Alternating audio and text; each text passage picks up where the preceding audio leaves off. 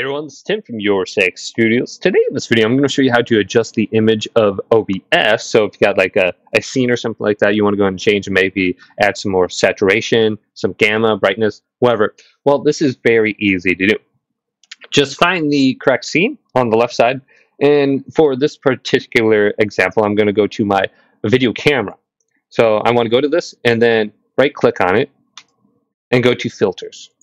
And under filters, we can go on down to where it says filter effects. So let's go to the bottom option, go to the plus icon. And under here, we can go to color correction. And we can name it wherever we want.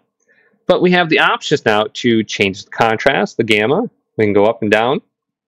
Or we can just reset it to whatever the values want. And we can go to saturation.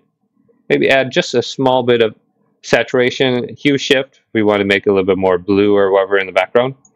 So let's just go back to zero.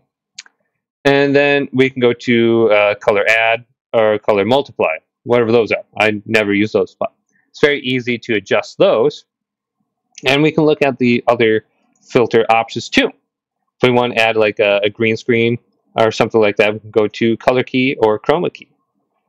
So just look at those as an option to adjust your screen and it's very easy to do. Hopefully this video did indeed help you out. If did, leave it a big thumbs up and subscribe my channel down below for more tech out videos coming up next on Your Six Studios.